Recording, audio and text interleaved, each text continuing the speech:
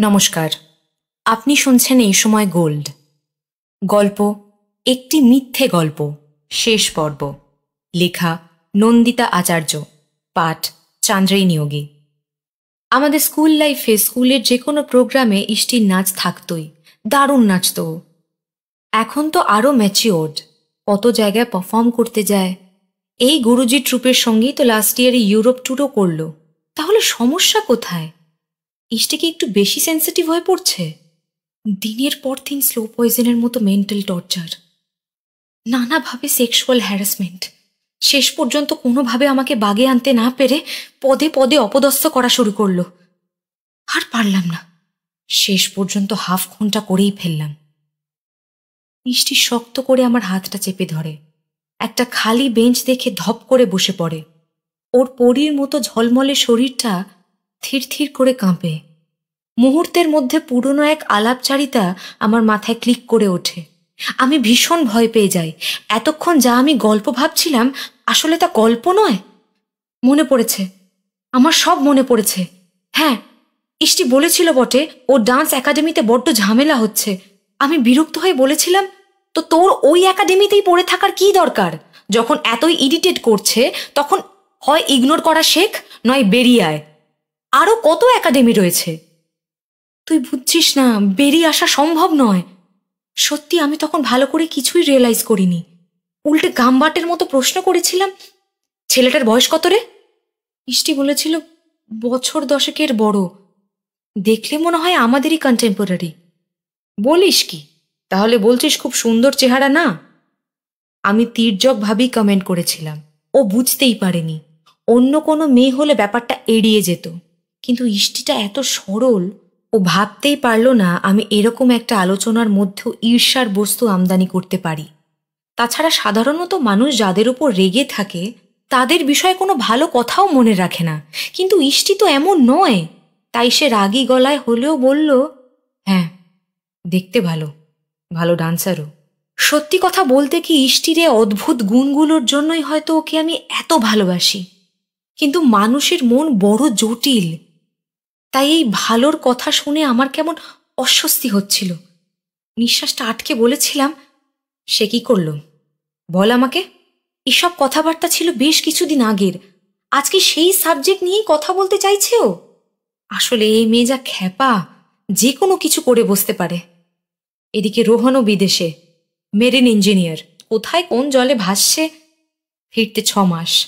ও god, এমন কিছু হলে আমি কি করে মেয়েটাকে বাঁচাবো? মাসখানেক আগেই সেই গভীর গোপন আলোচনার প্রতিটা কথা, প্রতিটা দৃশ্য আমার চোখের সামনে থ্রি ডি মুভির মতো ঝলক দিয়ে উঠল। হ্যাঁ মনে পড়েছে। লোকটা খুব বাড়াবাড়ি করছিল। ইষ্টিকে কোনোভাবেই বাগে না পেয়ে ওকে ভালো পারফরমেন্সগুলো থেকে বাদ দিচ্ছিল। এমনকি গুরুজি, যার সঙ্গে কিনা এত বছরের সম্পর্ক, তাকেও উল্টোপাল্টা কিছু বুঝিয়েছিল। তিনিও কেমন নিষ্পৃহ হয়ে যাচ্ছিলেন।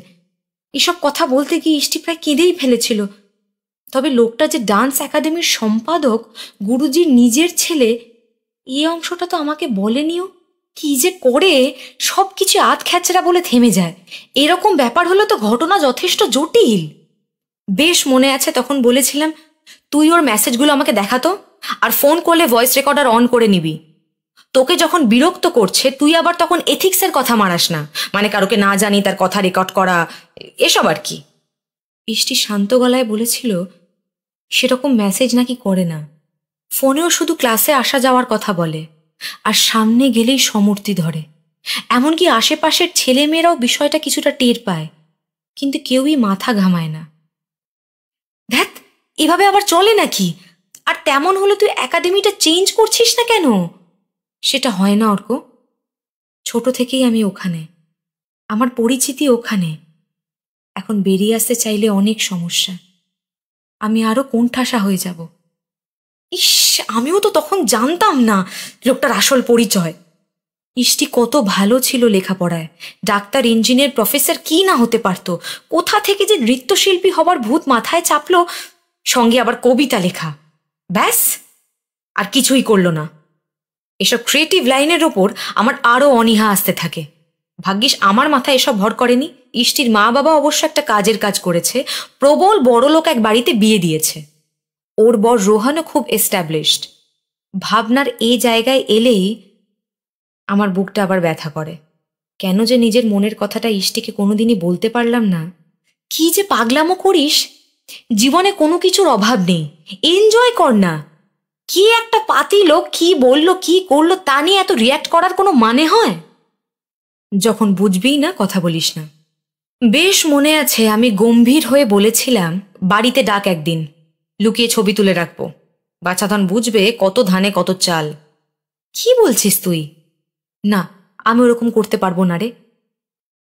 ডিগনিটিতে লাগবে। অন্য প্ল্যান কর। তুই পারবি না, অর্ক? কেমন কাঙালের মতো একটা দৃষ্টি নিয়ে তাকিয়েছিল। আমার বুকের ভেতরটা তছনছ হয়ে যায়। হায় প্রেমিক হিসেবেই শুধু নয়, সব দিক দিয়েই ব্যর্থ আমি। আমারও কেন্ন জীবন। মনে মনে একটা খুব সোজা সলিউশন ভাবছিলাম। একটু হাত ধরা, দু একটা চুমু। এতেই যদি কায়দা করে ঝামেলা মিটিয়ে দেওয়া যায়, ইষ্টি নয় চোখ বন্ধ করে মেনে নিলেই পারত। আমাদের সেক্টরে ছেলে মেয়ে নির্বিশেষে কেমন পাঁকাল মাছ হয়ে যায়। প্রয়োজনে কাজ উদ্ধারের জন্য হাতের মুঠোবন্দি, আবার মুহূর্তে পিছলে বেরোনো। হায়, আমার জীবনও এমন হয়েছে। অবশ্য তারপরে লন্ডন যাওয়া এবং দ্রুত প্রমোশন ওই সময়টা চোখ বুঝে এক বিখ্যাত অ্যাক্ট্রেসের কথা ভেবে নিয়ে কোনো রকম পিরিয়ডটা উতরে গেছিলাম। আসলে কলিযুগে শক্তিশালীরা বেশিরভাগই দুর্জন। তাদের কাছে হয় পদানত হও অথবা বিদ্রোহ করো। আর কে না জানে সমানে সমানে না হলে বিদ্রোহীরা বেশিরভাগই মরে হেজে যায়। না, ইষ্টিকে মানিয়ে নিতে বলার সাহস আমার হয়নি। বন্ধুত্ব ঘুচে যাবে। সে ক্ষতি আমার সহ্য হবে না। ইষ্টিরও হবে না। কোন ছোট থেকে বন্ধুত্ব, ওর নারী নক্ষত্র বুঝি। এই যে আমার মতো একটা নিরসকে গল্প শোনাতে চাওয়া, এও তো ওর এক প্রকার ভালোবাসা। খানিকটা সময় একসঙ্গে কাটানো, খুনসুটি, আড্ডা, ঝগড়া, পাড়ার প্রমোটার বন্ধু জয়ের পোষা বাউন্সার ইকবাল। ফিসফিস করে বেশ গুরুগম্ভীর একটা আলোচনা হয়েছিল, জায়গাটা ইষ্টি ঠিক করবে। মানে মালটাকে কোথায় বাগে পাওয়া যাবে এবং তারপর ইকবালকে দিয়ে গুছিয়ে একক্ষেপ রাম ধোলাই দেওয়া হবে। আমার এত আদরের বন্ধু, এমন সরল একটা মেয়ে, তাকে এভাবে হেনস্থা? এত সব প্ল্যানের পর ইষ্টির দিক থেকে আর কোনো সাড়া নেই। আমিও ভুলে মেরে দিয়েছিলাম। কলকাতার এক ক্লাবে গার্ডেন পার্টি ছিল, সঙ্গে নাচ, গান, গল্প। ইষ্টির কথার সূত্র ধরে অতীত থেকে আবার বর্তমানে ফিরলাম। হাফ খুনের ব্যাপারটা সত্যি কতটা কি? সে আশঙ্কাকে কোনো রকমে চাপা দিয়ে বললাম আচ্ছা তারপর? রোহনের সঙ্গে আমি বেশ কয়েকবার সেখানে গেছিলাম। সিচুয়েশন জানা ছিল, কোথায় ক্যামেরা, কোথায় নির্জনতা, এসব আর কি। ভাবছিলাম ওই পার্টির দিনই একটা হেস্তনেস্ত করে ছাড়ব।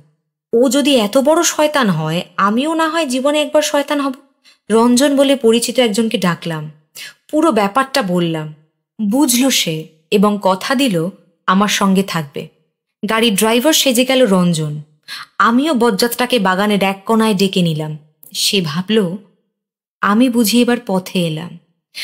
আমার বুকের ভেতর যেন সার্কাসের মোটরসাইকেলের প্লেয়ার ঝড়ের গতিতে স্পিড তুলেছে। গলা শুকিয়ে কাঠ। ফ্যাস ফ্যাসে গলায় বললাম, কাকে ড্রাইভার সাজিয়ে নিয়ে গেছিলি? তুই তাকে চিনলেই বা কি করে? সেটা জানাটা এই মুহূর্তে অত ইম্পর্টেন্ট নয়। পরের অংশটা শোন। লোকটা ধুম নেশায় যখন ইশারা করে জাম গাছের তলায় ডাকলাম, এরা তো পাটিতে যায় ওসব গিলতেই। আমিও ওই ঝিম ধরানোর পাউডারটা কায়দা করে ওর গ্লাসে ঢেলে দিলাম। ক্যামেরার বালাই নেই, আগেই জানা ছিল। একটু বাদেই লোকটা এগিয়ে এলো, কড়ি আঙুল দেখালাম। আসছি জাস্ট টু মিনিটস বুঝলো বাথরুম যাচ্ছি। ধুম জ্বর এলে যেমন আচমকা কাঁপুনি দিয়ে শীত করতে থাকে, এপ্রিল মাসের গরমে আমার তাই করতে লাগল। সরোবরের জলে সন্ধ্যার পাতলা অন্ধকার। আমি একটা ভেঙে চুড়ে যাওয়া ভুতুরে গলায় কোনো রকমে বলে উঠলাম, তারপর? তারপর? আমি উঠে যেতেই রঞ্জন মুহূর্তের মধ্যে এসে ধারালো ছুরি দিয়ে কায়দা করে সেটা কেটে লুকোনো ব্যাগে পুড়ে নিল আর দ্রুত বেরিয়ে গেল। আমার চোখ ঠিকরে বেরোচ্ছে। খাবি খাওয়া মানুষের মতো শ্বাস টানতে টানতে বললাম, ওই জায়গাটা কেটে নিল? যতই খারাপ হোক, এত বড় শাস্তিটা বোধহয় ডিজার্ভ করে না। তাছাড়া ইষ্টির মতো এত নরম একটা ফুটফুটে মিষ্টি মেয়ে। ওয়াক থু। এত ঘেন্না যে অন্যকে দিয়ে ওখানটা টাচ করালাম না। ডান হাতের বুড়ো আঙুল। কোনোদিনও আর নাচের মুদ্রা করতে পারবে না। বহুদিন বাদে আমার চোখ দিয়ে জল নেমে এলো। আমি ফিস করি। বাবু, কেন এমন করলি? যদি যদি কেউ জেনে যায়, আমি কীভাবে আড়াল করব তোকে? ছি, শক্ত সমর্থ যুবক পুরুষকে এমন কান্না মানায়?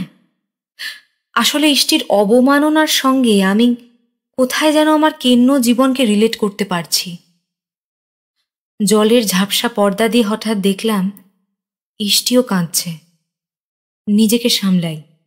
ভয় পাস না বুড়ি, আমি আছি। বেশ করেছিস, ঠিক করেছিস। রঞ্জনকে বেস্ট উইশেস ওর ভালো হোক। আসলে রঞ্জনেরা সবসময় অন্য ধরনের পুরুষ হয় রে। ইষ্টি আমার কাঁধে গাল রেখে আরও ডুকরে ওঠে। উদ্ভুটে সাজগোজ করে হাতে তালি মেরে গা ঘেঁষে এসে দাঁড়ায় এক আগন্তুক। দে দশ কুড়ি টাকা। সব ঠিক হয়ে যাবে তোদের। এই মাথায় হাত বুলিয়ে আশীর্বাদ দিলাম। টাকা নিয়ে সে লম্বা পায়ে হাঁটা দেয়, যেন ছায়া পথ ধরে নেমে আসা রহস্যময় বিধাতা পুরুষ। ইষ্টি ভাঙা গলায় কি যেন বলছে। প্রতিশোধ স্পৃহা মনকে দূষিত করে দেয় অর্ক। সমস্ত ক্রিয়েটিভিটি স্তব্ধ হয়ে যায়। তাই শেষ অব্দি রিভেঞ্জকে ইরেজ করে দিলাম। থাক। তার মানে? আমার দম বন্ধ হয়ে শ্বাস আটকে আসে গলার কাছে। আমি বিস্মিত হয়ে তাকাই ওর দিকে। ও হাতের উল্টো পিঠ দিয়ে চোখের জল মোছে। তারপর খুব ধীরে ধীরে বলে এটা সত্যিই একটা গল্প রে। একটা মিথ্যে গল্প।